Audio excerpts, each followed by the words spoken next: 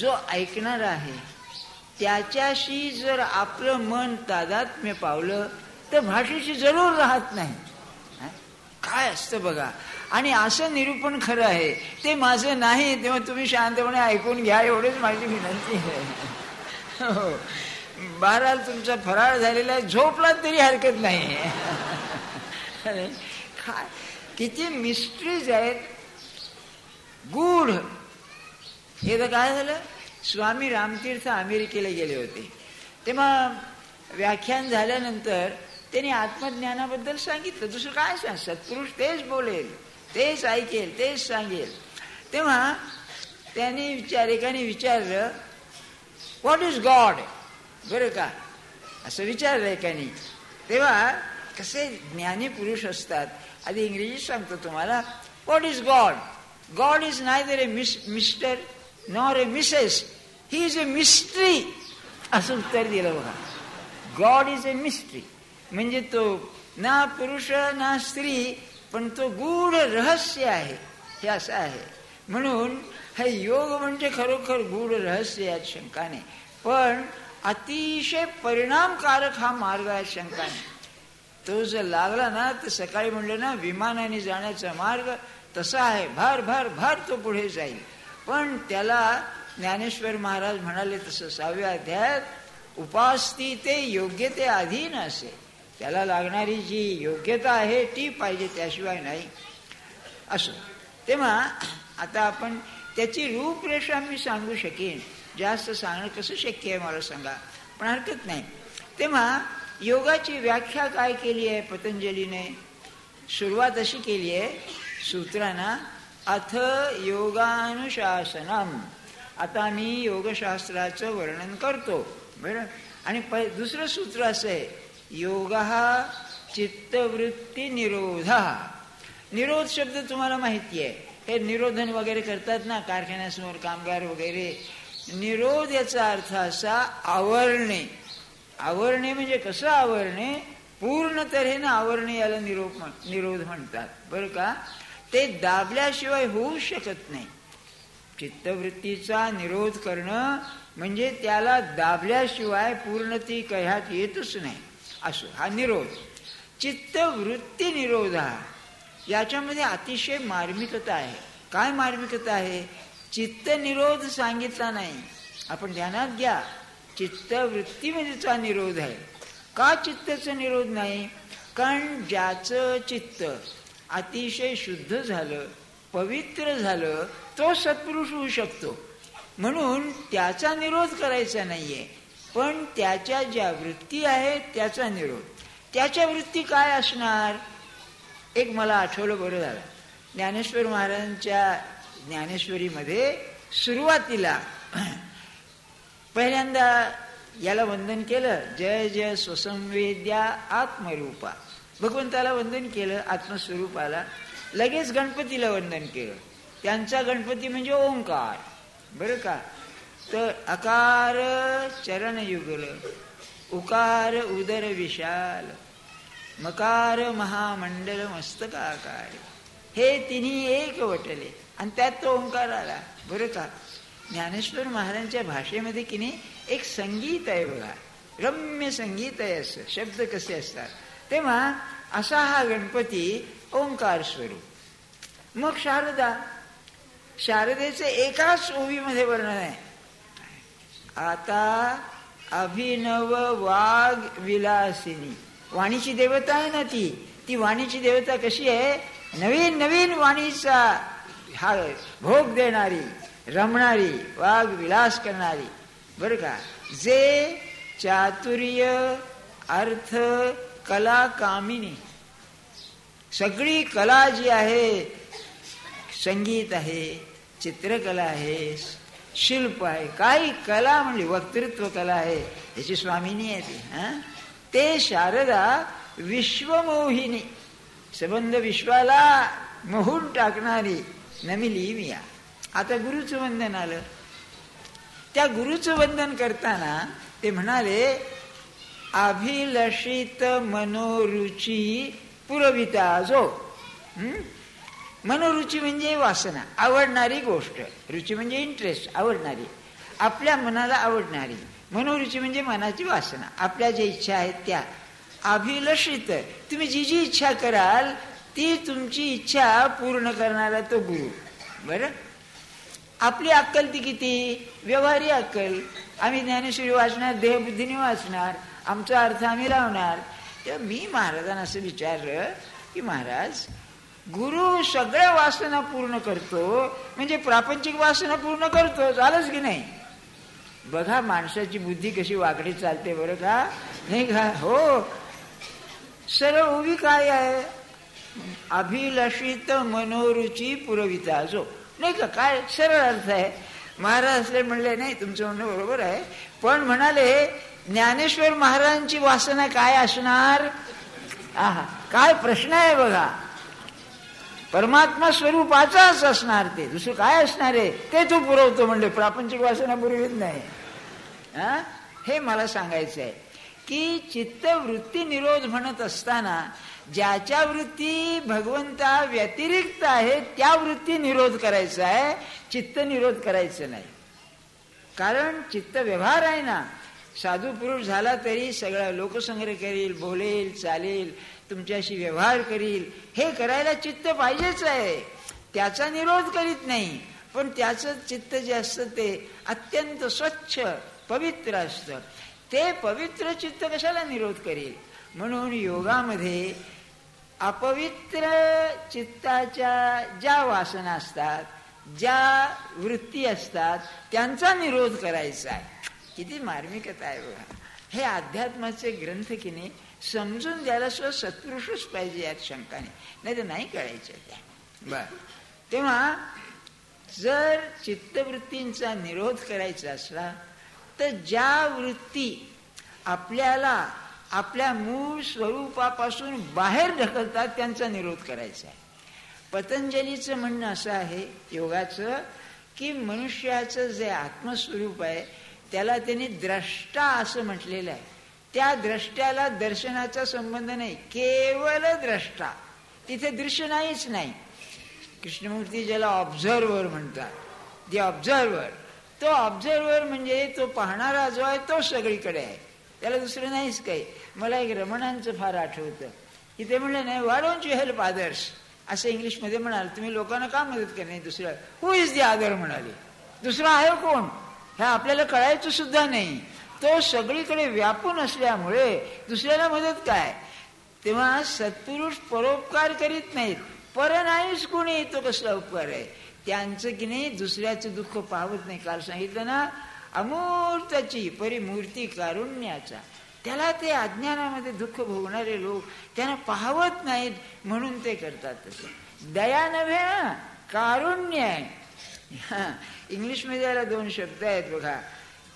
दया म्हणजे मर्सी आणि कारुण्य म्हणजे कम्पॅशन कम्पॅशन ही फार करुणा निराळी आहे. त्याला चैन पडणार नाही त्या याच्यामध्ये. महाराज उदाहरण द्यायचे. चिखलामध्ये अडकलेली गाय आहे. त्या गायीला पाहिल्यावर जसं चांगल्या माणसाला चैन पडणार नाही तसं आहे. दयेचं काय आहे? दयेचं तुमच्यावर काय असलं तेवढं दिलं आणि तुम्ही विसरून जाता त्याला. कारुण्याचं असं नाही. त्याचं दुःख नाहीसे करीपर्यंत होई पण चैन पडणार. नाही तेव्हा योगाचा अर्थ काय? जे चित्त दृश्याने भरलेलं आहे अशाश्वतानी भरलेलं आहे आपल्याला दुःखदायक कल्पना आहे त्याने भरलेलं आहे त्याचे ज्या वृत्ती आहेत त्या निरोध करायच्या. हे योगाचं मर्म आहे. मग दृष्टा द्रष्टा रूपानं पाहिजे. केवळ द्रष्टा. कालचा जो साक्षी सांगितला ना तो हाच. त्याला काहीच नाही. पाहावं नाही न पाहावं नाही नुसता असतो तो. बरं? म्हणून योगाचं जे शेवटचं ध्येय आहे त्याला कैवल्य म्हणतात. केवल. हे सांख्यांचंच आहे. केवल. तो आहे नुसता. असा आहे तसं आहे नाही. काही नाही. नुसतं आहे. हे द्रष्टे पण त्याचं नाहीसं होतं. अपवित्र चित्तानी वृत्तीनी त्या वृत्ती तुम्ही आवरा. म्हणजे कसं? की त्या आत्मस्वरूपावर मी हे वेदांताचे शब्द वापरतो. आत्मस्वरूपावर जे वासनेचं आवरण येतं त्या वासनातून ज्या वृत्ती येतात हालचाली होतात त्या नाहीशा करा. हा त्याचा अर्थ. बर. आता हे कसं करायचं? ते याला तयारी लागते. बरं. म्हणजे मी एकदा आपल्याला मागे सांगितले केव्हा तरी आमच्याकडे कॉलेजमध्ये एक पंडित होते माधवाचार्य त्यांचं नाव. तेव्हा द्वारकेच्या शंकराचार्याने त्यांची संस्कृत विद्या पाहून त्यांना एक पदवी दिली सर्वतंत्र स्वतंत्र. म्हणजे तुम्हाला मला तर आश्चर्य वाटत असेल तुम्हालाही वाटेल की आपल्या वेदांत सूत्रावर चार पाच भाष्ये आहेत. शंकराचार्यांचं प्रसिद्धच आहे. रामानुजाचार्य आहे. मध्वाचार्य आहे. निंबार्काचार्य आहे. ही भाष जुनी सगळी अशी प्रसिद्ध भाष्य आहेत. शंकराचार्यांच्या भाष्यावरती एक भामिती म्हणून आहे. भामती वाचस्पती मिश्राची. बरे का? असं ते हे सगळं त्यांना पाठ. तुम्हाला खरं वाटेल? म्हणजे व्हायचं काय? आम्ही एम एला शंकराचार्यावर लेक्चर द्यायचं. तर एखादं संस्कृत वचन आम्ही किती वाचणार? आठवायचं नाही. मग पंडितजींना विचारायचं की व काय सूत्र आहे ते? काय त्याचं? ते म्हणून दाखवायचे. मग ते आम्ही सांगायचं कळाले क्लासमध्ये. इतका तो विद्वान. त्याने केली युनिव्हर्सिटीला अर्ज केला. मुंबई युनिव्हर्सिटीला की मला एम एला संस्कृत शिकवायला परवानगी द्यावी.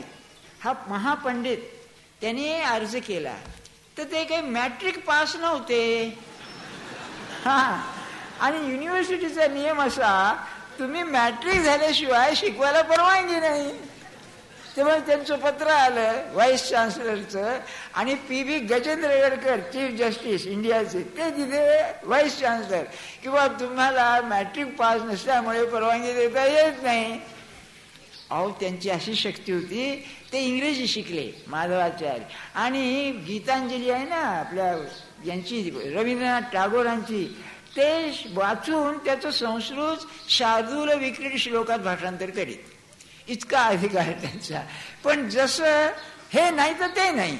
तसं योगामध्ये तयारी असल्याशिवाय वृत्ती निरोध होत नाही. आता काय करावं? ती तयारी कोणची? त्याच्या आठ पायऱ्या आहेत. आणि त्या अतिशय मानसशास्त्रदृष्ट्या अप्रतिम आहेत. बरं? परमार्थाच्या मानसशास्त्रावर युरोपियन लोकांनी फार मोठं काम केलेलं आहे. अनेक उत्तम ग्रंथ लिहिलेले आहेत. तसं तर त्या सर्वामध्ये ज्या पायऱ्या आणि जी अवस्था सांगितल्या आहेत त्या पतंजलीने आपल्याच्या सांगितल्या आहेत. त्याला अष्टांग योग म्हणतात. आठ पायऱ्या म्हणजे आठ अंग आहेत त्याची. सहज आठवलं म्हणून सांगतोय या अष्टांगाचं बरं का योगाला फार महत्त्व आहे परमार्थ सगळीकडे तो अष्टांग आहे. तर बघा मनुष्य नमस्कार करतो ना साष्टांग नमस्कार घालतो. तेव्हा आठ अंग लागतात जमिनीला. तेव्हा विनोबानी एक कोटी केलेली आहे. फार अप्रतिम आहे.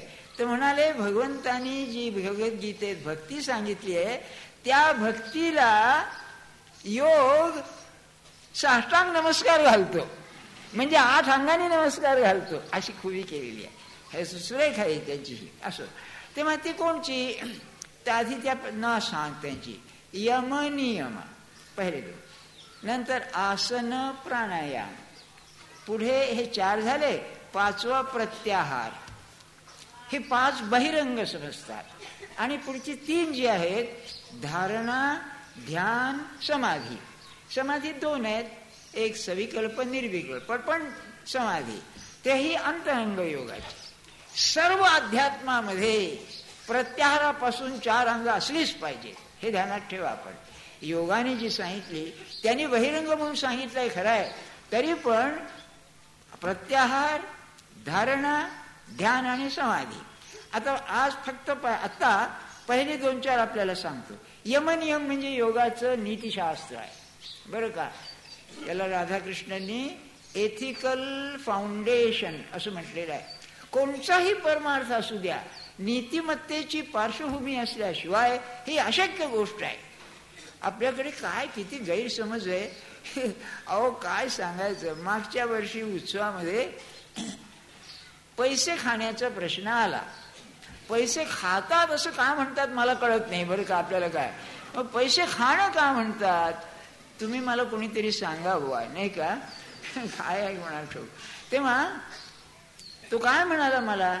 अहो हा भ्रष्टाचार हा जे जीवनाचा आज नियम झालेला आहे तर खाण्यात पाप काय आहे? काय आहे? आपण कधी न खाल्ल्यामुळे ते काय आहे ते कळत नाही हो. त्याला काय सांगायचं मला सांगा? नाही का? तो काय म्हणाला? तुमचा काळ गेला आता माणसाला जगणं शक्य नाहीये त्याशिवाय. आणि मी ऐकलं ते आता खरं वाटतंय एका मोठ्या संस्थेमध्ये तुम्हाला जर साधी कॅज्युअल लिव्ह तुमची हक्काची रजा पाहिजे असेल तर पैसे द्यावे लागतात. त्या क्लार्कला काय चमत्कार आहे बा पैसा पैसा म्हणजे काय पैसा? आणि पैसे खाण्याचे जे मार्ग आहेत ना त्यामध्ये इतकी बुद्धी सुरेख चालते या लोकांची काही बोलायची नाही. कशा पैसा खातील याचा नियम नाही. तुम्ही काही कायदा करा काही करा. क्षमा करा. हे इन्कम टॅक्सचे जे एक्सपर्ट्स असतात ते की नाही नवीन नवीन मार्ग सुचवतात. हक्क नाही का? पैसे चुकवायचे. तशापैकी हे काहीतरी आहे. किती कायदा करा तुम्ही? पैसे खाण्याचे मार्ग बरोबर शोधून काढतात. माझ्या म्हणण्याचा हेतू असा. योग पाहिजे ना? परमार्थ पाहिजे. तिथे नीती अवश्य आहे. नीतीचं नसेल तर परमार्थ नाही. आपण ध्यानात ठेवा. बरं? नीती काऊची काय बघा सुंदर आहे. जे केलं असताना कर्माशी संबंध आहे नीतीचा. जे कर्म केलं असताना आपला स्वार्थ साधेलच पण दुसऱ्याच्या स्वार्थाला धक्का लागत नाही ती नीती आहे. आपलं कसं आहे दुसऱ्याचा स्वार्थ बुडवून आपण साधतो स्वार्थ. नाही व्यवहार कसा आहे? तुलाही स्वार्थ आहे मलाही स्वार्थ आहे. तेव्हा या दोन स्वार्थांचा संगम होऊन त्यामध्ये दोघांचाही हित व्हावं हाही नीती आहे. पण तुम्हाला एक सुंदर हे सांगतो. माझं म्हणणं काय नीती काय सांगायचं काय? नीतीशास्त्राचं व्याख्यान नव्हे. माणसं कसं करतात? माझा एक विद्यार्थी बसमध्ये बसून आला. जरा उशीर आला म्हणून म्हणलं का रे भाऊ उशीर का झाला? तर म्हणलं सर बस लवकर मिळाली म्हणून उशीर झाला. त्याच्यात त्याने काय सांगितलं मला? म्हणला मी पैसे काढून ठेवलेले होते तिकीट काढायला. पण त्याने काही मला विचारलं नाही. आणि म्हणलं मी आलो निघून. त्याने काय विचारलं हे नीतीशास्त्रात बरोबर आहे का चूक आहे? वा. बघा तर मी म्हणलं काय दिलं नाही? त्याचं विचारण्याचं कर्तव्य आहे. म्हणून मी म्हणलं दिलं नाही त्याला. तुझं का तिकीट घेण्याचं कर्तव्य होतं का नाही त्या ठिकाणी? बघा माणूस कसा विचार करतो. त्यावर त्यांनी आणखी मखलशी केली. सर म्हणला त्यांचा फायदा काय? थोडा काय आहे? तेवढ्या फायद्यात माझे एक आठ आणि गेले तर काय झालं? म्हणाले. म्हणलं वा. काय स्वार्थाचा विचार असतो बघा. नीतीशिवाय नाही. नीतीशिवाय परमार्थ नाही. आपण ध्यानात ठेवा. अहो काय सांगू तुम्हाला? ज्ञानेश्वर महाराज सारखा महात्मा. बघा म्हणजे महात्मा का म्हणायचं? नीती विधी देहबुद्धीची आहे ना सगळी. अरविंदांचं फार छान म्हणणं आहे बरं का. काय आहे? प्राणी जे असतात ना ते नीतीच्या खाली सब एथिकल माणूस एथिकल म्हणजे नैतिक. आणि संत हा सुप्रा एथिकल त्याला नीती नाही. असं वेदांत सांगतोय. त्याला नीती ना नीती नाही. बरं? महाराजांची गोष्ट सांगतोच आहे मी पुढे. तेव्हा नीतीशास्त्राच्या दृष्टीनं सत्पुरुषाला ते बंधन नाही. बघ असं असताना ज्ञानेश्वर महाराज काय म्हणतायत नवव्या अध्यायामध्ये सततम कीर्तयंतो माम. या श्लोकावरती भाष्य चालू असताना जयांच्या लीले माझी नीती जियाली दिसे. तुम्हाला जिवंत नीतिमत्ता पाहायची असेल तर त्यांच्या खेळामध्ये लीलेमध्ये दिसते. काय आहे ज्ञानेश्वर महाराजांचं केवढं आहे बघा. इतकंच नव्हे तिसऱ्या अध्याय चौथ्या अध्यायामध्ये तिसऱ्या नव्हे. चौथ्या अध्यायामध्ये अवताराचं रहस्य सांगताना अवतार काय करतो म्हणाले तर ते आहे ना दुष्टांचा संहार करतो चांगल्यांचं पालन करतो हे ठीकच आहे. बरं का? महाराजांची याच्यावर एक सांगण्याची गुबी अशी आहे. ते म्हणले सज्जनांचं रक्षण करीत नाही तो. दुष्टांचा संहार करतो ते आपाप त्यांचं रक्षण होतं म्हणाले. खुबी आहे सांगण्याची सुद्धा. हा. त्याला काही रक्षण लागत नाही याची मारून तर सांगताना तो नवीन समाजाची घडी बाजू बसवतो. कोण? अवतार. तर काय करतो? ज्ञानेश्वर महाराज म्हणाले सांगण्यासारखं आहे बघा की नीतिमत्ता ही कुमारी आहे. बर का? तर नीती आणि ही स्त्री कुमारी धर्म हा पुरुष तर नीतीचं लग्न धर्माशी लावून देतो हा.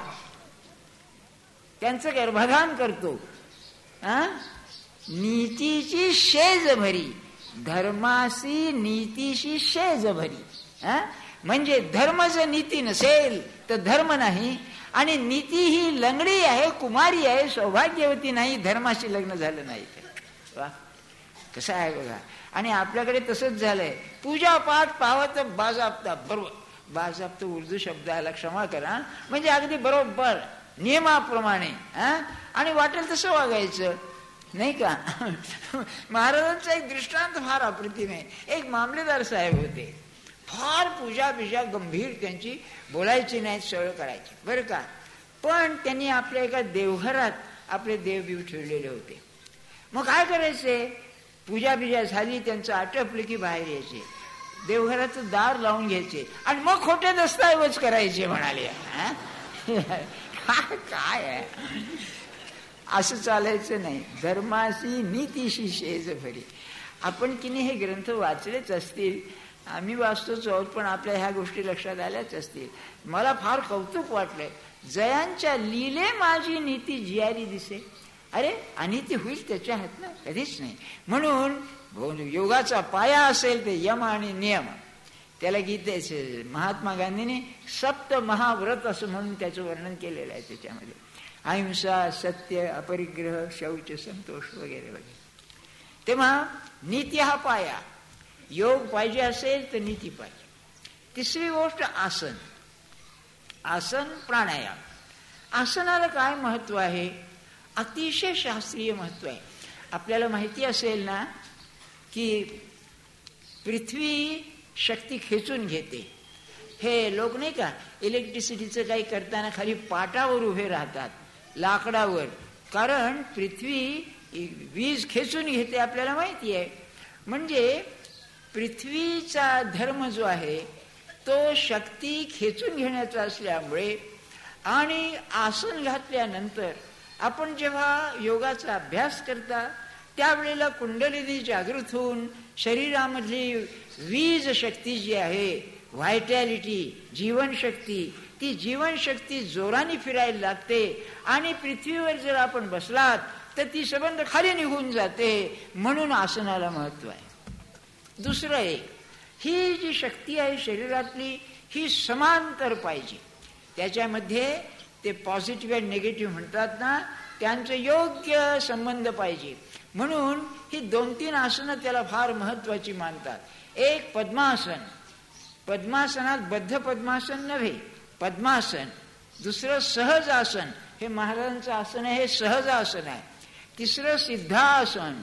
आणि चौथं जे आहे ते शवासन.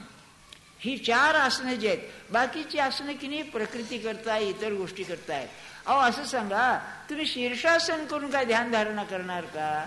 किंवा कुक्कुटासन म्हणून नाही काय कोंबड्यासारखं. किंवा मयूर आसन आहे ते करून का तुम्ही करणार? नाही का? हे शक्यच नाही. सांग. किंवा ते पश्चिमोत्तानासन म्हणून आहे.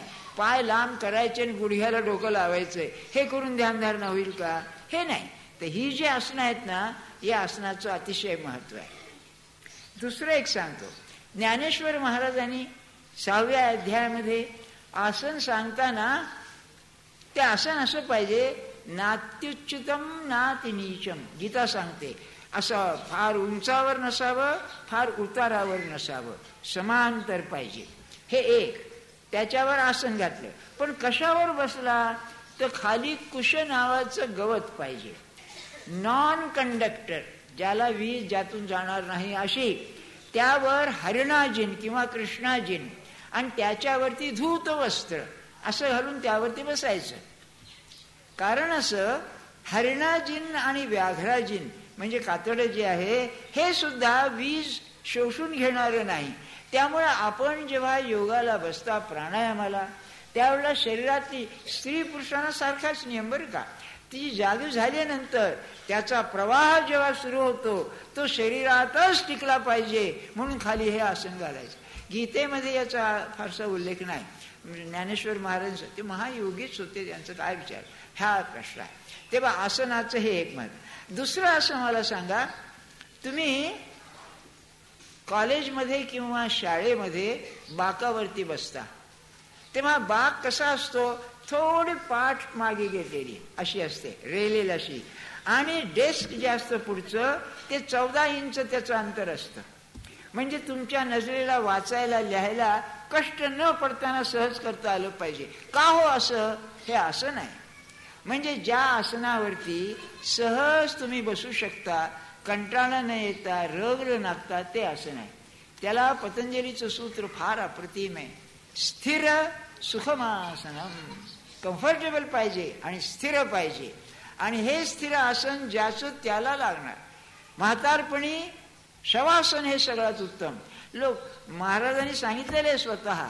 वय झाल्यावर काय होतं? बसवत नाही ना माणसाला. आणि अलीकडे ते स्पॉन्डिलॉसिस म्हणून झालेलं आहे ना ते झालं तर काही विचारूच नका. आणखी काय होतं? या आपण रिक्षामध्ये या एस टीमध्ये किंवा याच्यामध्ये धक्के बसतात ना आपल्या मणक्याना पाठीच्या त्याच्यामध्ये ते डिस्लोकेट म्हणजे एकमेकापासून वेगळे होतात. अंतर वाढतं. अशा याच्यामध्ये सरळ बसणं सुद्धा माणसाला मुश्किल होते.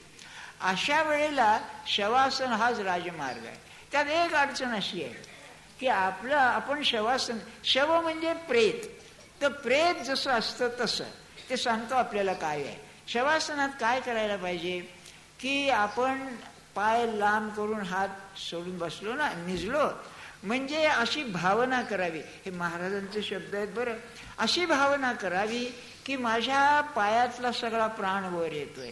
माझ्या हातातला प्राण सगळा वर येतोय. आणि अशी भावना जर केली तर शरीरातली सगळी जीवनशक्ती हृदयात येते. आणि त्याची खूण अशी शवासन सागलं साधलो केव्हा? तर पुन्हा आपण हालचाल करायला लागलो एकदम हात हालता कामाचं आणि एकदम पाय हालता कामा कारण तिथपर्यंत ती जीवनशक्ती पुन्हा जायला पाहिजे ना. अशा अवस्थेमध्ये ध्यान करावं. हृदयामध्ये ते. बरं का? तेव्हा आसनाचं हे महत्त्व आहे. म्हणून तिसरं योगाला एकाग्रता साधायला पतंजलीने आसन सांगितलेलं आहे. दुसरं एक सहज सांगून ठेवतो आपल्याला.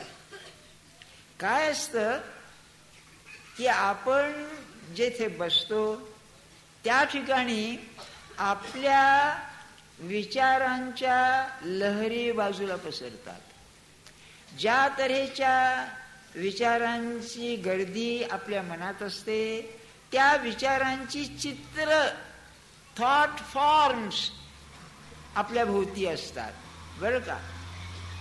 तर आपण सामान्यतः प्रपंचाच्या वातावरणात जर असलो तर आपल्या भोवतीची विचार चित्र सगळी प्रापंचिक असतात. जितकं आपण वर जाऊ अंतर्वय कवर तितकं ते कमी असतं. तुम्हाला अनुभव असेल जे यात्रेला गेलेत ना हिमालयामध्ये तिथे गेल्यानंतर विचारांच्या मध्ये सुद्धा फरक होतो. स्वाभाविक विचार चांगले येतात. मी आपल्याला आपल्याला नव्हे मला एकदा सांगितलं बी सर फ्रान्सिस यंग हजबंड म्हणून एक हिमालयावर फार फिरणारा मनुष्य होता. बरं का? त्याने असं लिहिलेलं आहे की आम्ही ब्रिटिश लोक आम्हाला पैशाशिवाय लौकिकाशिवाय विचार नाही. पण या हिमालयाचा गुण असा आहे की आम्ही आल्यानंतर तिथले विचार तरंग सगळे निराळेच आहेत. बरं का? असं त्यांनी लिहिलंय. तेव्हा जितकं आपण वर जाऊ तितकी विचारचित्र सुंदर असतात. पृथ्वीवर राहून ती विचारचित्र फक्त सत्पुरुषाच्या घरी असतात. म्हणून इथे येऊन तुम्ही जप केला तर जितकं सहज लक्ष लागेल तितकं घरी सुद्धा लागत नाही. पण जे घरी असतात त्यांनी जर साधना केली तर ते घर सुद्धा तसंच होईल यात शंकाने बरं का? विवेकानंदाने एके ठिकाणी असं म्हटलंय आपल्या घरामध्ये एक अशी खोली असावी की ज्या खोलीमध्ये आपण सुद्धा प्रापंचिक विचार घेऊन जाऊ नये. आता ते मुंबईसारख्या ठिकाणी कसं काय शक्य आहे हो? दोन खोल्यामध्ये आठ माणसांचा संसार चालायचा पण किती अवश्य आहे. आणि किती चांगले जप करणारे लोक मला सांगतात की इथे येऊन जर त्या याच्यामध्ये बसून जप केला तर तोच जप घरी करायचा. इथे तंद्री लवकर लागते आणि जास्त लागते. एक हुच्चराव म्हणून ग्रस्त होते. बरं का ते इथे सुद्धा बरेच दिवस असत अनेक सत्पुरुषांची गाठ पडलेली त्यांची आणि फार चांगले होते. तेव्हा ते मला एकदा म्हणाले इथे असताना की म्हणले बा महाराजांची मला प्रचिती पाहिजे. तर मी म्हणलं आपण असं करा की तुमचा जो सकाळचा जप आहे तो जप म्हणलं तुम्ही तिथे जाऊन करा. आणि महाराजांची प्रार्थना करा की मी आपण दिलेलं नाम घेतोय. महाराजांचेच अनुग्रहित होते. आपण दिलेलं नाम घेतोय पण हे नाम आपल्याला पोचताय ना याची खूण मला आपण द्या. बरं. सिन्सिअरली मनापासून म्हणलं प्रार्थना करा. काय झालं? मी तुम्हाला चमत्कार म्हणून सांगत नाही त्या वातावरणातली चित्र कशी काम करतात हे सांगतोय. त्याने ते बसले आणि जप करू लागले. तर ती खोली म्हणजे महाराजांचं गर्भागार एकदम निळ्या प्रकाशाने भरून गेलं. त्यांना आठवेना मी कुठे बसलो आहे काय? मी बंगलोरमध्ये आहे का? इथे आठवेना आणि जरा घाबरले थोडेसे. घाबरले शांत बसले. आणि पाच मिनिटात ते सगळं कमी झालं. तर अण्णासाहेब गाडगे तिथे येऊन पूजा करीत होते हे दिसलं त्यांना. तेव्हा त्यांनी मला विचारलं कसं झालं? तिथे चित्र आहेत महाराज असं म्हणायचे की जो नाम घेतो त्याच्या जवळून मला हालता येत नाही. याचा अर्थ तो आहे. ईश्वरा परमेश्वराचं अस्तित्व त्यांचं अस्तित्व जिथे आहे ते विचार रूपानं थॉट फॉर्मच्या रूपानं असतं. बरं का? असं आहे. जे अशी प्रचिती घेतले लोक असतात ना त्यांना अमक्या ठिकाणी हे जागृत स्थान आहे किंवा नाही हे झट दिशी कळतं. कसं कळतं? एक कोल्हापूरची अंबाबाई घ्या. हे महाराजांचं मत.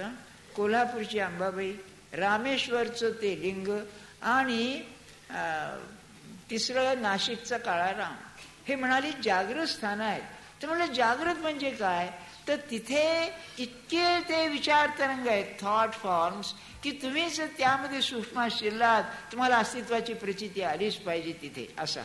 तर ते काय होतं म्हणाले की ज्याला ती दृष्टी आहे तिथे सबंध ते मंदिर असं प्रकाशाने भरून गेलेलं दिसतं. आणि त्याला फोटो काढणारे कॅमेरे निराळे आहेत त्याचे फोटो काढलेले आहेत. एक पुस्तक आहे दी सेवन शीज म्हणून. त्याच्यामध्ये यापैकी काही फोटो दिलेत. एक फोटो असा आहे की साधकाला राग आला. तर त्याचा सूक्ष्मदेह असतो. तो कसा दिसतो फोटोमध्ये? तर लाल बाण मारावे तसे त्याच्या अंगातून तीर निघतात. राग आला असताना. नाही का? म्हणजे रागाला आपण लाल समजतो ना? आपण म्हणतो रागाने लाल झाला म्हणून त्याचं मूळ असं आहे. आणि जो प्रेमाने भरलेला आहे त्याचा गुलाबी रंग असतो. अहो त्या गडकऱ्यांची कविता आहे म्हणे गुलाबी कोडे म्हणून. म्हणजे एका तरुण मुलीच्या गालावर लाल लाली जी आली. प्रेमाची ते गुलाबी कोडं असं काहीतरी कविता आहे. हा काय आपल्याला अनुभव नाही आपली दाढी वाढलेली असणार आपल्याला कुठे? लाल रंग कुठला येणार? नाही किती खरं आहे हे या की नाही हे मी का सांगतोय मी कधी फारसे सांगत नाही. योग म्हणजे सर्व अनुभव येतात माणसाला. हो. अहो काय सांगू तुम्हाला? माझा एक विद्यार्थी होता नंदी मठ त्याचं नाव. मी म्हणे त्याला काय नाव तुझं लेखा म्हणलं नंदी मठ काय? काय हे बरं का? तो हा होता लिंगायत होता फार चांगला. तो अरविंदांच्या रमणांच्या दर्शनाला सुद्धा जाऊन आला. ते सांगू का? मध्ये सांगतो तू बरं ते ऐकायला बरं आहे ते सांगतो तुम्हाला. काय झालं? अरविंदांना जेव्हा तो भेटायला गेला ना तर अरविंद काही भेटत नव्हते त्यावेळेला त्याच्यात असत. पण तो गेला आश्रमात आणि अरविंदांचा मदर बरोबर निरोप आला की बा तुझं चाललंय ते चांगलं आहे आणि असं चालू ठेव तू योगाचा अभ्यास करी. चालू दे तुझ्या मागे तुझे गुरु आहेत असं त्यांचा निरोप आला. तो जेव्हा रमणांच्याकडे गेला आणि जाऊन बसला त्या हॉलमध्ये तेव्हा पहिल्यांदा तिने आलेलं पाहिलं. नंतर एक पाच दहा मिनिटं झाल्यावर याच्या मनात काय आलं? नंदी मठाच्या. एम एचा विद्यार्थी होता फिलॉसॉफीचा त्याच्या मनात आलं की भगवानचं लक्ष माझ्याकडे आहे का नाही? त्याच्या मनात यायला आणि त्याने त्याच्याकडे पाहिला.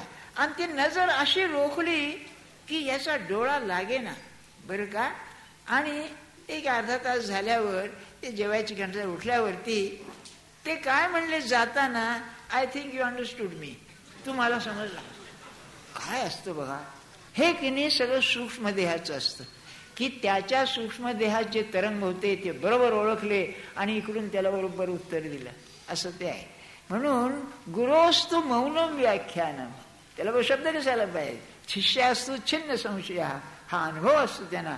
त्यांनी नुसते नजर टाकली की सगळे नावच नाहीशी झाले. बर. तेव्हा सांगायचा मुद्दा विसरू नका. की जितकं तुम्ही वर जाल तितकं की नाही हे तरंग स्वच्छ असतात.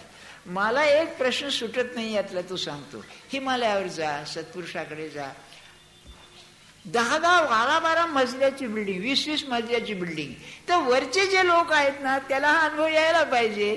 तो तसं येतो का नाही कोणा ठोकवा मला हे कोड सुटत नाही. नाही का? जितकं वर तुम्ही आहात तितकं जर स्वच्छ विचार तरंग पाहिजे तर म्हणजे प्रत्येकाने वरच जावं. म्हणजे तो वरच्या वरच जाईल शंचा खाली येणारच नाही. नाही का? पण आपलं सांगून ठेवतो ऐकून ठेवा. बरं? फार छान असतं.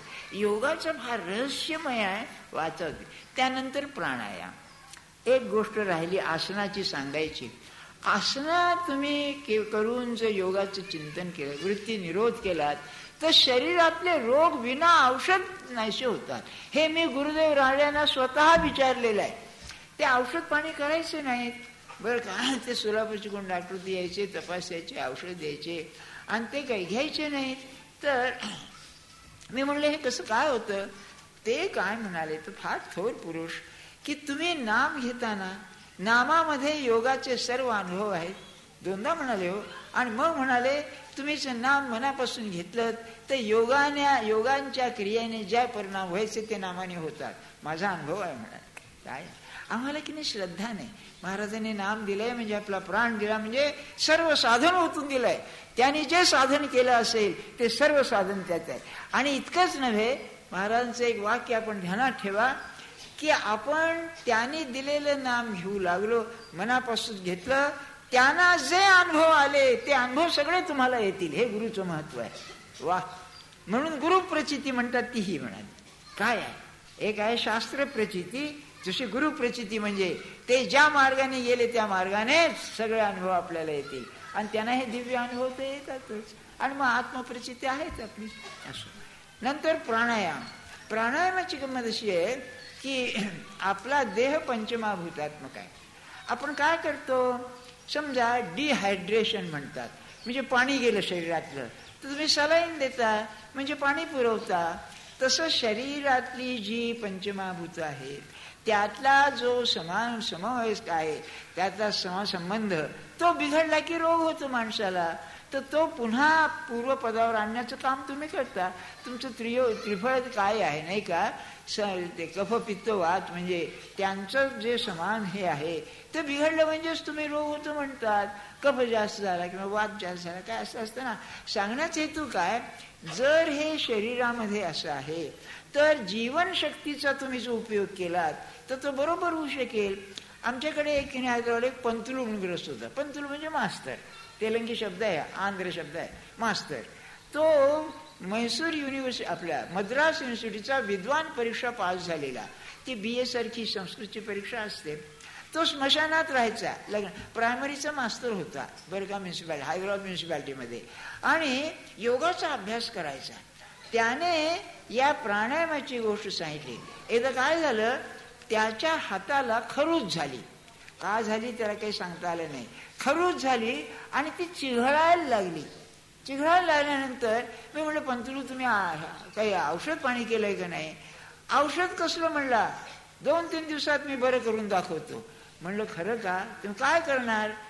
मी दाखवतो म्हणाला. आणि खरोखर दोन तीन दिवसांनी आला तर बोट पाहिल्यासारखी. मी म्हणलं पंतलू काय केलं तू? तर म्हणलं काही नाही प्राणायामामध्ये माझा प्राण तिथे मी ठेवला नेऊन. आणि म्हणाला की बरं झालं पाहिजे. आपण बरं झाली म्हणाला. काय गूढ आहे बघा या योगाचं. तेव्हा प्राणायामाचं महत्त्व असं आहे की आपली जीवनशक्ती जिथे पाहिजे तिथे नेता आली की प्राणायाम सिद्ध झाला. आपण फक्त श्वास कोंडण्याला प्राणायाम समजतो असं नाही आहे. पतंजलीने म्हटलेलं आहे व्यासांच्या टीकेमध्ये की तुम्हाला प्राणायाम साधला किंवा तर जेथे तुम तुम्हाला तुमचा प्राण न्यायची जरूर आहे तिथे नेऊ शकता म्हणजे झालं. आणि त्यांनी उदाहरण असं दिलंय तुमच्या बा अंगठ्याचं तुम्हाला ज्ञान पाहिजे. तर तुम्ही आपला प्राण जर तिथे नेला तर अंगठा काय संबंध आत बाहेर कळेल तुम्हाला. हे एक ते आहे. तेव्हा आसन प्राणायाम. हे सगळं बरोबर आहे हो ठीक आहे.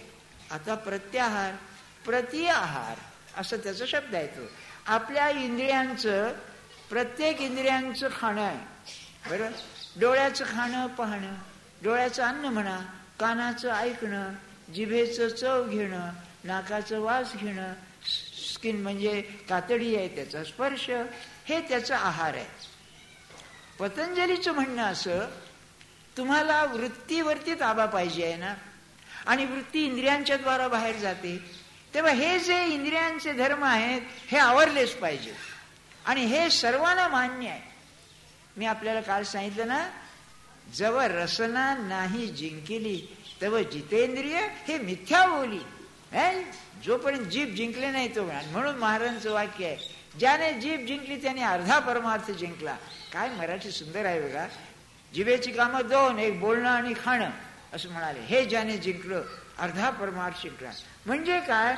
की त्या इंद्रियांच्या आहारात मी जसा आधीन आहे पाहिल्याशिवाय चैन पडत नाही ऐकल्याशिवाय चैन पडत नाही. हे जसं आहे ते रोखणं याचं नाव प्रत्याहार आणि पतंजलीचं असं सूत्र आहे की ध्यान धारणा ध्यान आणि समाधी याला आवरण घालणार असेल तर प्रत्याहार घालतो. म्हणून इंद्रियन जिंकणं अवश्य आहे. आणि ज्ञानेश्वरीमध्ये काय कुणास ठेवते योगी होते म्हणून म्हणा इंद्रियांना आवरण्याला अतिशय महत्त्व दिलेलं आहे. इंद्रियाला सोडवा इंद्रियांना सोडवा. आणि हे आपल्याला करायला पाहिजे. याला मी असं महाराजांनी विचारलं की म्हणलं बघ नामाने हे कसं साधतं? काय त्यांचं सांगण्याची खुबी आहे. ते काय म्हणाले सुरुवात कशी करावी? नाम घ्यावं आणि आपल्या कानाने आपण ऐकावं. म्हणजे फार शास्त्रीय उत्तर आहे बरं का. तर म्हणलं ऐकण्याने काय होईल? ते म्हणले नाद आहे ना तो आवाज आहे ना. आवाज हा आकाशाचा गुण आहे. सर्व पंचमहाभूत जी आहेत पृथ्वी आप तेज वायू आकाश या सर्वांच्या पेक्षा आकाश सूक्ष्म आहे. तुम्ही सूक्ष्मालाच धरल्यानंतर खालची आपाप ताब्यात येते काय सांगा आपण करीत नाही हो काय सांगू तुम्हाला? काय नामाचं महत्त्व आहे? एक नाम म्हणाले तो रमून जाईल रंगून जाईल म्हणाले. तुम्ही नाम घ्या आणि स्वतः नाम ऐका. महाराज काय म्हणाले जर तयारी झाली निरंतर नाम घेतलं तर स्वप्नामध्ये नाम तुम्हाला ऐकायला येईल. काय सांगायचं आणखी? हे अनुभव घ्यायला पाहिजेत आपण. थोडे बहुत घेऊन मी आपल्याला सांगतोय. अतिशय सत्य आहे. मला एक असं वाटतं बरं का हा एवढा थोर पुरुष या खेडेगावात राहिला काय? त्या काळची परिस्थिती काय? एकटे दुपटे कुणी भेटले ब्रह्मांड महाराजांसारखे त्या यांच्यासारखे आनंद सागरांसारखे. बाकी सगळे आमच्यासारखे प्रपंचाला लोभून राहिलो हो. हिंग जिऱ्याचं गिरायक आनंद सागरांचं सांगतो ब्रह्मांड महाराजांचं थोरवी काय होती? आनंद सागरांचं ब्रह्मानंद महाराजांनी वर्णन केलंय. काय? अखंड नामामृतपान तृप्तम. आपल्याला पाठ असेल नाही का? काय शब्द आहे भा अखंड नाम अमृत पान म्हणजे पिणे त्याने तृप्त झालेला. हा? अखंड नामामृत पान तृप्तम. पुढचं काय? दयाघनम. अतिशय दयेनं व्याप्त असलेला. दयाघनम आणि शिष्यानं पावन केलेला. नाही का? ते मात्र काय कशी नाही त्यांचं वर्णन. कारण त्यांच्याकडे कुणी आला अनुग्रह मागायला तुझा मुलगा मरेल बायको मरेल शेत जळेल. पाहिजे का अनुग्रह? पुरे बा तुमचा अनुग्रह म्हणून लोक जायचे दोन चार शिष्य होते त्यांचे. ब्रह्मांड महाराजांचं निराळच होतं. चाललं असं काही झालं तर गुरुत्व मिळवावं. गुरुनी अधिकार दिला पाहिजे की लोकांना नाम दे. नाही तर मी सेल्फ स्टाईल गुरु. बरं का? म्हणजे काय? म्हणजे नाही का दाढीबिडी वाढवली आहे केस बीस फिंजारले शत्रुषाचं लक्षणच आहे जणू काय ते बरं का? बायका नाही का काय ते वेणी घालीत नाही केस फिंजवून देतात एकदम. आत काही फरक होत नाही हा बाहेर खूप आहे ठीक आहे. आत ते तसंच. काय करा आणि आपल्या अगदी प्रेमाने म्हणतो ना पुरुषाच्या बाबतीत दाढी वाढवायला काही श्रम करावे लागत नाही तो हो. आपोआप वाढते शिंची ती नाही का? हे काय परमार्थ आहे का हा? हा अनुभव घ्यायला पाहिजे. तेव्हा प्रत्याहाराचं महत्त्व फार आहे. आणि ते नामाने साधतं बघा. खरोखर आपला अनुभव आहे. काही नाही. अगदी या देहाला जगवण्याकरता अन्न पाहिजे ना. कारण अन्नमय प्राण आहे पण सांगतात ना तेव्हा ते अन्न सात्विक आणि स्वच्छ अन्न. महाराजांचं वाक्य आहे स्वच्छ आणि सात्विक अन्न खावं. असं त्याचं आहे. उपनिषदामध्ये फार अप्रतिम म्हणतो आहे ते काय म्हणाले? आहार शुद्ध सत्वशुद्धी सत्व म्हणजे बुद्धी. आहार शुद्ध असेल तर बुद्धी शुद्ध होते. आणि सत्वशुद्ध ध्रुवा स्मृती. ही ध्रुव म्हणजे कायमची. ध्रुव आहे ना तो. कायमची. तर सत्वशुद्ध आहार शुद्धी झाली की बुद्धी शुद्ध होते. बुद्धी शुद्ध झाली की भगवंताचं स्मरण कायमचं टिकतं. तेव्हा पण महाराज म्हणाले सध्याचा काळ आहार शुद्धीला चांगला राहिला नाही. तेव्हा म्हणाले त्याला नैवेद्य दाखवूनच अन्न खावं सात्विक अन्न नाही तर खाऊ नाही म्हणाले. बरं का? त्यात मी एक पुस्ती जोडतो साधकानं बेतानच खावं. इथे नाही या मात्र देलगडाठी हो. होय. बेतानच खावं पण रोजचं नियमन पाहिजे अहो ज्ञानेश्वर महाराज सांगितलंय आहार तरी सेवी जे काय ज्ञानेश्वरी म्हणजे कमाल आहे बुवा काय त्यांचं ज्ञान होतं या पोराचं अठराव्या वर्षी नाही अलीकडे तो प्रेमात पडतो कॉलेज कन्यकाच्या शिक्षा काय ते ज्ञानेश्वर महाराज कुठे काय सर विलक्षणच आहे ते ते म्हणाले आहार तरी सेवीजे आहार पाहिजे परी युक्तीचे नि मापे मविजे. हा? युक्ती म्हणजे योग्य. आपल्याला पाहिजे तेवढाच मोजून खावा. निद्रेशी मानू दिजे कमणे काय उगीच जागरण करू नये. निद्रेला सुद्धा योग्य. आणि महाराजांचं मत असं आहे की साधकाला तीन तास झोप पुरे. कारण विचार मग तीन तासात कसं? ते म्हणाले जो खरोखर फालतू विचार करीत नाही. महाराजांनी फालतू शब्द व्यर्थ म्हणाले. फालतू शब्द नाही वापरा माझे व्यर्थ विचार करीत नाही. त्याच्या मेंदूला श्रम नाही म्हणून त्याला तीन तास झोप पुरेल म्हणले. एक प्रहर असं. म्हणजे मग बाकीचा वेळ त्याच्या उपासनेला मोकळच आहे. नाही का? कसा आहे? साधक हा असा एक आदर्श आहे. तुकारामांचा अभग आहे ना? साधकाची दशा असावी उदास उपाधी नसावी अंतर्बाह्य. त्याच्यातच आहे. परिमित भोजन आणि निद्रा पाहिजे असं त्याच्यातच आहे. ते सुद्धा कसं व्यवहाराचे उलट नाही. आज समजा तुम्ही डॉक्टर रात्री बोलावणार बा पेशंट करता तर ती झोप राहिलेली दुसऱ्या दिवशी घ्यावी नाही का? पण काही नसताना रात्री सहा तास दुपारी चार तास म्हणजे मग काय त्याला? त्याला तू काय साधक नव्हे नाही का? आणि म्हणाले म्हातारपणी म्हणजे झोप येत नाही. पण जप व्हायच्या ऐवजी तो चिंताच करतो म्हातारपणची म्हातार असं नाही. साधकाचं असं अगदी मोजमाप व्यवस्थित पाहिजे. हे प्रत्याहाराचं झालं. पतंजलीचं एक गमतीचं सूत्र आहे की धारणा करायला लागणार जे मन आहे ते मन प्रत्याहारानं सिद्ध होतं. प्रत्याहाराचं झाकण आहे त्यावर. काय बरं बरं का? त्याच्यावर आवरण आहे या इंद्रियांचं. ते इंद्रियांचं आवरण नाहीसं होतं. आणि मग तो धारणेला योग्य होतं. धारणा असूच योग्यता मनसा असं सूत्र आहे की धारणा धरायला. धारणा म्हणजे काय? खरंच योग म्हणजे धारणा ध्यान समाधी. हे सर्व साधकांना लागू आहे. तो ज्ञानमार्गी असो तो कर्ममार्गी असो भक्ती काय असू दे ते आहे. तर धारणा म्हणजे काय? ध्रुव म्हणजे धरून ठेवणे. तुम्ही एक प्रयोग करून पहा. की आपल्या मनात जे विचार येतात अगदी प्रिय व्यक्तीविषयी विषय किंवा प्रिय विषयाविषयी काय असेल तर तुम्ही तो किती मी टिकवू शकतो याचं पर्व करून पहा. पाच मिनिटं दोन मिनिटं दहा मिनिटं. मी मिनिटं म्हणतोय पण एक मिनिट जरी टिकवलं तरी तुम्ही तयार आहात. एक विचार. तो विचार हालू द्यायचा नाही मनातून. तो स्थिर राहायला पाहिजे. धारणा म्हणजे धरून ठेवले ना. आणि धारणेचं असं आहे देशबंध चित्तस्य धारणा. आतला जो मी आज सांगितलं ना आतला आकाश आहे चित्ताकाश. ज्या आकाशामध्ये अवकाशामध्ये चित्त व्यवहार करतं. त्याला एके ठिकाणी बांधून ठेवायचं असेल तर धारणा पाहिजे. हा? ही धारणा पुढे जबर आहे. जबर म्हणजे काय? तुम्ही नामाचाच प्रयत्न करून बघा ना. आपण नाम जे घेतो ना ते कर्म होतं. मी नामस्मरण करतो ते तसं नका करू. नुसतं चित्तामध्ये जो मंत्र आहे तो धरून ठेवायचा. घ्यायचा नाही तो ठेवायचा. किती वेळ ठेवतो आपण? घड्याळ लावून बघा. माझी खात्री आहे पाच दहा सेकंदाच्या वर टिकत नाही. लगेच दुसरा विचार येऊन जातो. हा? तर ती धारणा म्हणजे इतकं नाम घ्यावं बाहेर की आतमध्ये ते सूक्ष्मात गेलं की स्थिर राहिलं पाहिजे. ही प्रगतीची पहिली पायरी आहे. धारणा झाली पाहिजे त्याची. हा? ही धारणा काही लोकांना सहज असते. तुम्हाला एक उदाहरण सांगतो. कसं वेळ आहे बघा आमच्या तिकडे हॉलमध्ये घड्याळ आहे. ते असं बाजूला म्हणून मी इकडे पाहतोय. आणि इकडे महाराज बसले आहेत माझ्या लक्षातच नाही. हा? म्हणजे आता माझं लक्ष गेलं बघा इकडे एकदम. कशी वृत्ती हालते पाहिलं ना एकदम घड्याला लक्ष गेलं. नाही इथे बरोबर आहे दहा मिनिटं आहेत. तर काय सांगत होतो मी आपल्याला? धारणेची गोष्ट. धारणेला जागेचं बंधन नाही वेळेचं बंधन नाही परिस्थितीचं बंधन नाही. बरं का?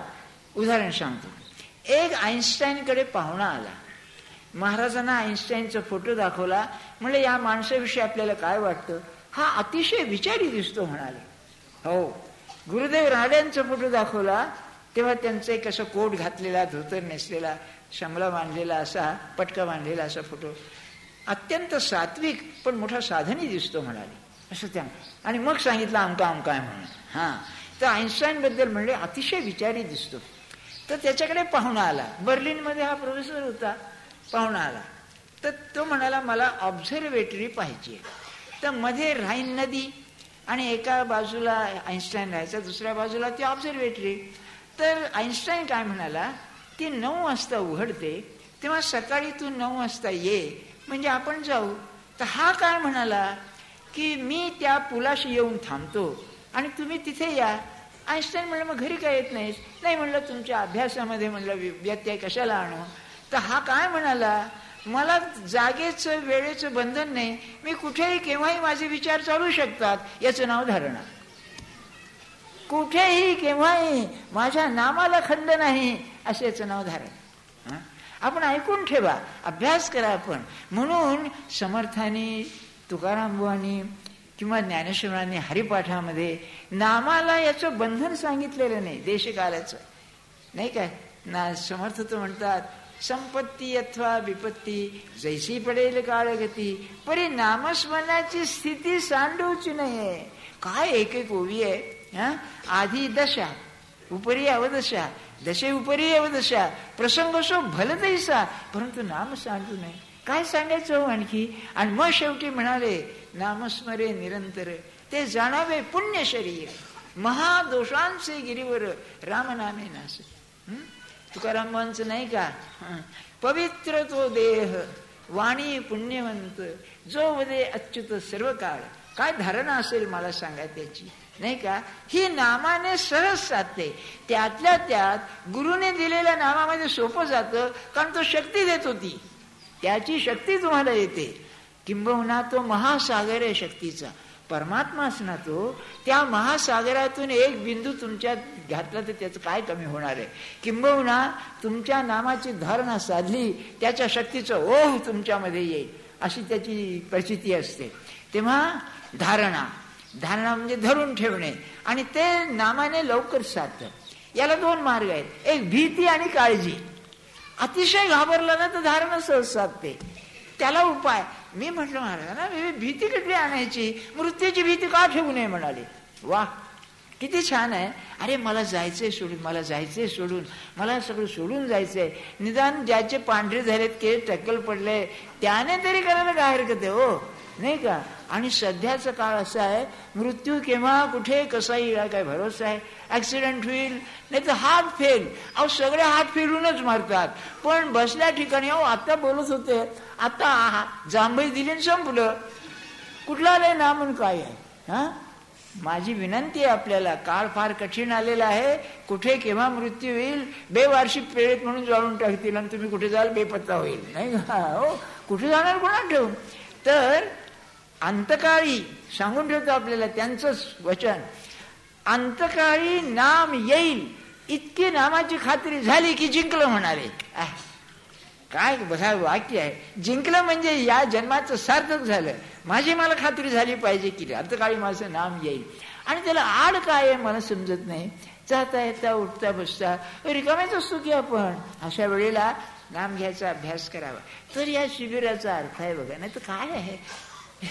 फराळा करताच यायचं तर शिबिर नसताना सुद्धा यायला हरकत नाही. का? त्याला काही शिबिरच नको आहे. पण हे करायला पाहिजे बघा.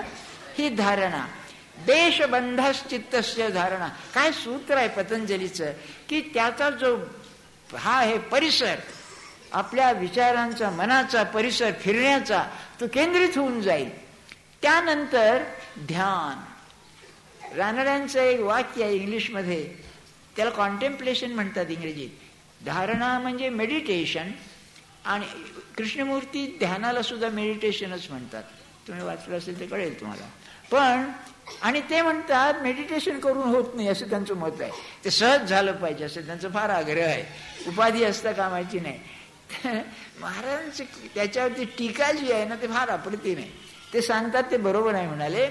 पण असं आहे एक मूल रांगत आहे त्या रांगत्या मुलाला सांगितलं उठून पळायला लाग पळायला लाग. त्याला येईल का म्हणाले? तसं धड प्रपंच ज्याला जमत नाही त्याला हे कर म्हणणं म्हणजे तशा वेगळी आहे म्हणाले. म्हणून त्यांच्यावर एक मोठा आक्षेप आहे की त्यांचे त्यांच्या हयातीमध्ये कोणी तयार झालेले नाही. कोणीही शिष्य तयार झालेला नाही. चाळीस चाळीस वर्ष त्यांचं ऐकलेले लोक आहेत तरी नाही. एक नागपूरचे डॉक्टर होते त्यांना भेटायला आले मुंबईला. आजारी होते कृष्णमूर्ती तेव्हा ते भेटत नसत फारसे. तेव्हा मला म्हणले नुसता नमस्कार करायचे काही करायचे नाही. म्हणून ते आले बाहेर. बाहेर आले यांनी गुलाबाची फुलं दिली त्यांना. त्यांना फुलं फार आवडत. दिली आणि म्हणाले कसं काय आहे? तर म्हणले सांगू का? डॉक्टर म्हणाले सांगा म्हणाले मी आपलं म्हणजे चाळीस वर्ष ऐकतोय. आपलं व्याख्यान मुंबईला असेल तर मी नागपूरहून ऐकायला येत असे पण मला काहीही कळलेलं नाही. तर ते काय म्हणले तू एकटाच प्रामाणिकपणशी मला भेटलास म्हणाले.